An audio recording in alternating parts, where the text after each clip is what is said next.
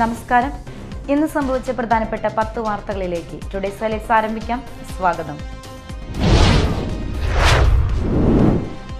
മണ്ണൂത്തിയിൽ ബസ്സിൽ കടത്തിയ പന്ത്രണ്ട് കിലോ കഞ്ചാവുമായി യുവാവ് പിടിയിലായി. പുനയൂർക്കുളം കല്ലാറ്റിൽ ഷെമിൽ ഷെരീഫാണ് അറസ്റ്റിലായത്. തൃശൂർ എക്സൈസ് എൻഫോഴ്സ്മെന്റ് സ്ക്വാഡും എൻ എച്ച് പട്രോളിംഗ് സംഘവും ചേർന്ന് മണ്ണൂത്തിയിൽ നടത്തിയ വാഹന പരിശോധനയിലാണ് കഞ്ചാവ് പിടികൂടിയത്.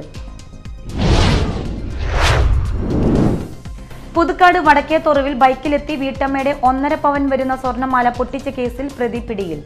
ആലപ്പുഴ താമരക്കുളം പനങ്ങാട് അമ്പാടി വീട്ടിൽ നാൽപ്പത്തൊന്ന് വയസ്സുള്ള പ്രദീപിനെയാണ് പുതുക്കാട് പോലീസ് അറസ്റ്റ് ചെയ്തത്. പരിയാരത്ത് പോസ്റ്റ് ഓഫീസ് ജംഗ്ഷനിൽ കാറിന്റെ ചില്ലുകൾ ഹെൽമറ്റ് കൊണ്ട് അടിച്ചു തകർത്ത് കാറുടമയെ ആക്രമിച്ചതായി പരാതി. തിങ്കളാഴ്ച വൈകിട്ട് അഞ്ചരയോടെയായിരുന്നു സംഭവം.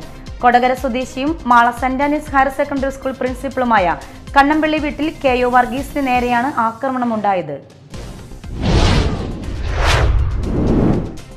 എസ് എസ് എൽ സി പരീക്ഷാ ഫലം മെയ് എട്ടിന് പ്രഖ്യാപിക്കും. കഴിഞ്ഞ തവണത്തേക്കാൾ പതിനൊന്ന് ദിവസം മുൻപാണ് ഫലപ്രഖ്യാപനം. എഴുപത് ക്യാമ്പുകളിലായി നടന്ന മൂല്യനിർണയത്തിന്റെ ടാബുലേഷനും ഗ്രേസ് മാർക്കും അടക്കമുള്ള നടപടികൾ പൂർത്തിയാക്കിയതായി വിദ്യാഭ്യാസ മന്ത്രി വി ശിവൻകുട്ടി അറിയിച്ചു. Higher secondary vocational higher secondary പരീക്ഷാ ഫലങ്ങൾ മെയ് ഒൻപതിന് പ്രസിദ്ധീകരിക്കും. കടുത്ത ചൂടിൽ നാടിനെ വിയർപ്പിച്ച് കെ എസ് ബിയുടെ വൈദ്യുതി നിയന്ത്രണം. രാത്രി പലയിടത്തും അരമണിക്കൂർ വരെ വൈദ്യുതി തടസ്സപ്പെടുന്നു. കുതിച്ചുയരുന്ന വൈദ്യുതി ഉപയോഗം മറികടക്കാനെന്നാണ് കെ എസ് ബിയുടെ വിശദീകരണം. ലോഡ് കൂടി ട്രാൻസ്ഫോർമറുകൾ ട്രിപ്പാകുന്നു. പതിനഞ്ച് മിനിറ്റ് മുതൽ അരമണിക്കൂർ വരെ ഓഫ് ചെയ്യേണ്ടി വരുന്നു.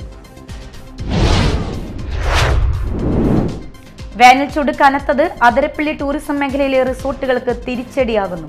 സഞ്ചാരികൾ ഇല്ലാതായതോടെ മേഖലയിലെ റിസോർട്ടുകളും അടച്ചിടൽ ഭീഷണിയിലായി. വേനൽ ചൂട് കനത്തതാണ് റിസോർട്ടുകൾക്ക് പ്രതിസന്ധിയായത്. സീസൺ ആരംഭിച്ചിട്ടും റിസോർട്ടുകളിൽ കാര്യമായ ചലനമുണ്ടാകുന്നില്ല.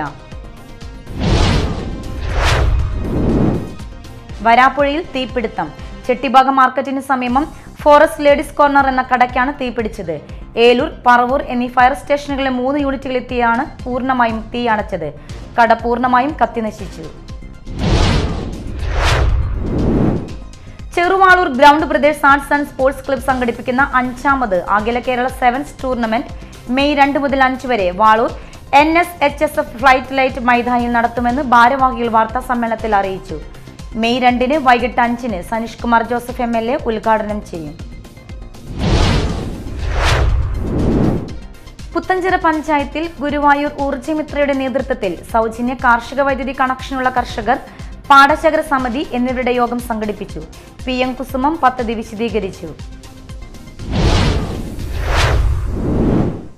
കലാകാരന്മാരുടെ സംഘടനയായ തരംഗ് ചാലക്കുടിയും ചാലക്കുടി ലയൺസ് ക്ലബും സംയുക്തമായി സംഘടിപ്പിക്കുന്ന ഗുരുവന്ദനം പരിപാടി വ്യാഴം വൈകിട്ട് ആറ് മുപ്പതിന് ലയൺസ് ഹാളിൽ നടത്തുമെന്ന് ഭാരവാഹികൾ വാർത്താ സമ്മേളനത്തിൽ അറിയിച്ചു.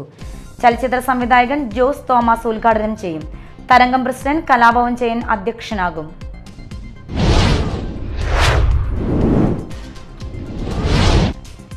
ഹൈലൈറ്റ്സ് വാർത്തകളുടെ വിശദമായ റിപ്പോർട്ട് അടുത്ത ന്യൂസ് റൗണ്ടപ്പിൽ കാണാം. ടുഡേസ് ഹൈലൈറ്റ്സ് ഇവിടെ സമാപിക്കുന്നു. നമസ്കാരം.